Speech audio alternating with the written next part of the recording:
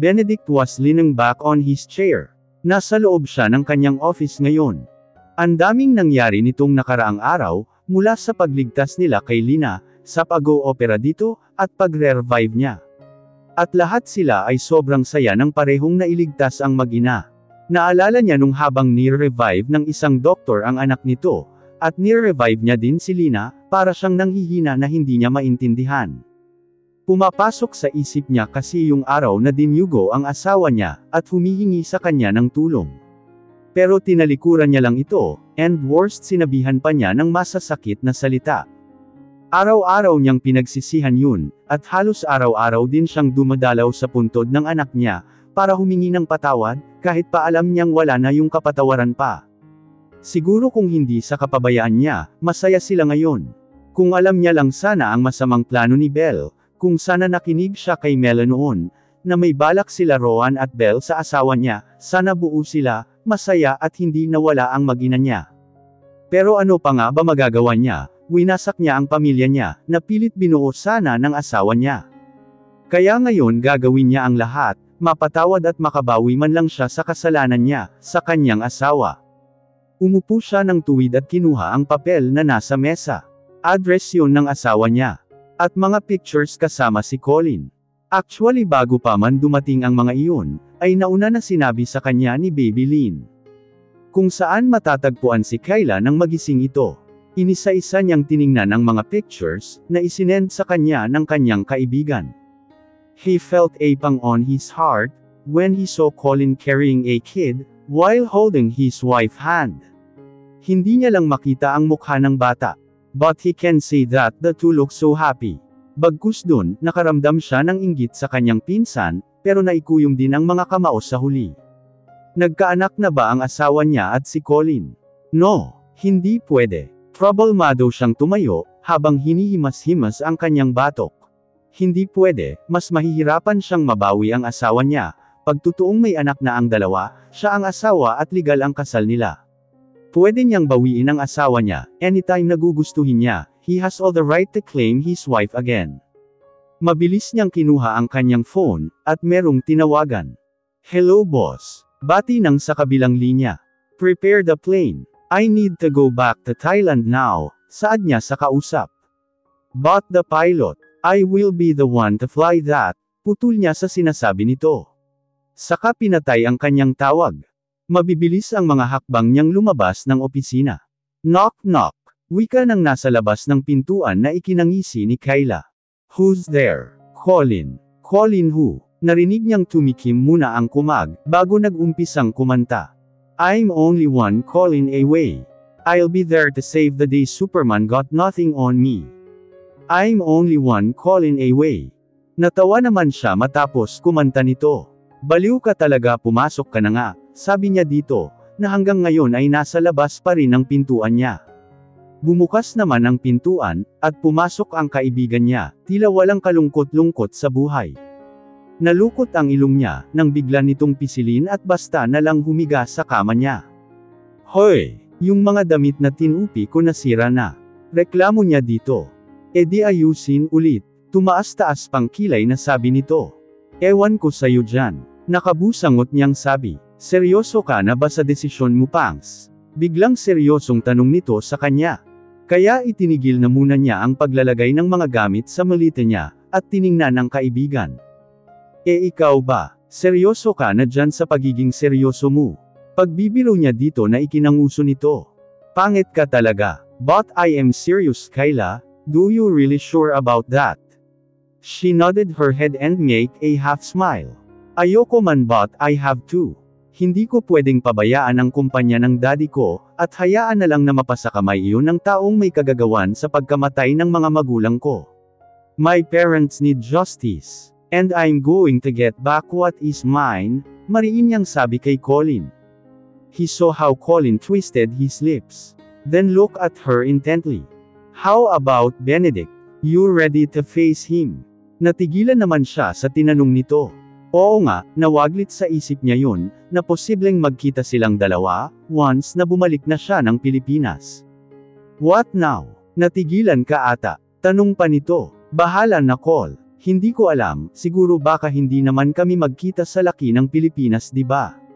Baka nga limot na ako nun eh, she faked a smile. Colin heaved a side and sit properly. Basta dito lang ako ha, if you need help, backup or what just tell me. Saad nito sa kanya sabay gagap ng kanyang mga kamay, at pinisil-pisil iyon. Talaga namang andyan ka lang kasi, kasama kitang uuwi ng Pilipinas no. Unless ayaw mo nang sumama at iwan si Mela. Nairolyo naman nito ang mga mata. Actually yan nga sinadya ko dito. Baka naman pangs pwede na nating isama si Mela, at ang prinsesa ko, please. Masyado akong malulungkot doon, kapag ikaw lang ang kasama ko, abay paano naman ang malalamig kong mga gabi? Alam mo namang si Mela lang nagpapainit nun, nakabungis-ngis nitong sabi. Hinampas niya naman ito ng damit na tinutupi niya, kainis ka talaga. Tawa naman ng tawa ang kumag.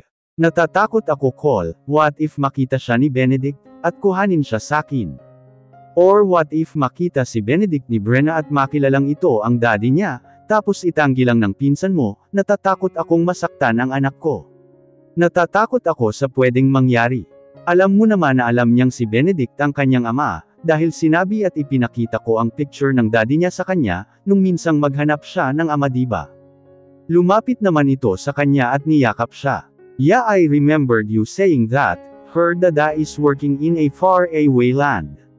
Colin said then she heard him chuckle, kaya kinurot niya ito. Pero tumawa lang ito. Alam mo bang proud ako sa iyo, cause of what you did, you have a very kind heart and a lovable one. Pero ano ka ba, wala pa nga kung ano-ano na ang iniisip mo. E di sasabihin kong anak ko siya. Ano ka ba o? Daing nito ng kurutin niya ulit ito sa tagiliran. Kahit kailan ka talaga. Oo na sige na, isasama na natin ang dalawa. Isa pa hindi din ako matatahimik kung malayo ang anak ko sa akin. Baka puro iyak na lang ako niyan, wika niya sa kaibigan. Yun, masayang sabi nito. Thanks pangit, gumanda ka ngayon ng slight, dahil dyan sa naging desisyon mo, pagbibiro nito sa kanya, bago siya nito tinalikuran, at excited na lumabas. Pasaway lang talaga ang kaibigan niya kahit kailan, naiiling niyang sabi sa sarili. She breathed deeply. Ano man ang mangyayari, o kakahinatnan sa pagbabalik nila ng Pilipinas, isa lang ang sisiguruhin niya, yun ay ang hindi masaktan at maprotektahan ang anak niya. Isang hinggang malalim ang pinakawalan ni Benedict, bago niya kinatok ang pintuan ng bahay nila Kyla. He felt nervous and excited at the same time. Finally the long wait is over, makikita na rin at makakausap na niya ang asawa niya. Handa na din siya sa kung ano man ang sabihin, at gawin sa kanya ni Kyla. Kahit saktan man siya nito, o pagsalitaan man siya ng masama, lahat ng yun ay tatanggapin niya. He deserves it by the way. Nakakailang katok na siya, pero wala pa ring nagbubukas ng pintuan. Tiningnan niya ulit ang address na nakasulat sa papel, and even the pictures ng entire house ng asawa. Same naman, pero bakit walang nagbubukas? Kaya kinatok niya ng kinatok ulit iyon. Wife, are you there? It's me. Benedict. Can we talk please? He shouted. He was about to knock again, when the door suddenly opened. Who are you? Tanong ng isang matandang babae na nagbukas ng pintuan. Benedict cleared his throat first, before he uttered his word. I'm looking for my wife. I mean to Miss Kyla Soriano, is she here? Tanong niya dito. Ngumiti naman ito sa kanya. I'm sorry sir, but your wife wasn't here anymore. They've already left. Nahilat niya ang batok sa inis. Bakit ba tila ipinagkakait sa kanya na makita, at makausap ang kanyang asawa, inalang talaga. May I ask if where are they? Or if when they are coming back here. Tanong niya sa matanda. I'm sorry sir but I think they are not coming back here anymore. Cause they asked me to sell this house as soon as possible, sabi nito na ikinamura na naman niya sa isip. Nagpaalam na lang siya sa matanda, bago pa sumabog na naman ang galit, at inis na nararamdaman niya sa harapan nito. Pinaghahampas niya ang manibela ng kanyang sasakyan, pakapasok na pakapasok niya sa loob. Papaandar na sana niya ito, nang biglang may kumatok sa bintana niya, kaya mabilis niyang ibinaba iyon. Sir I forgot to tell you, that they are going back to Philippines, And I think they already in the plane right now, wika ng matanda sa kangumiti. Tila naman siya nabuhayan sa narinig, kaya mabilis din siyang ngumiti sa matanda, bago nagsalita. Thank you so much ma'am.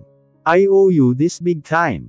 And before I forgot, mark that house sold, I'm going to buy that. Mas lalong umaliwalas ang mukha ng matanda sa sinabi niya. My attorney will contact you tomorrow. I need to go, thank you, palam niya dito, na ikinatango naman ito.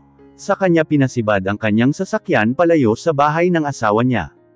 This is it man. She's back in the Philippines, at mukhang alam na niya ang rason sa pagbabalik nito.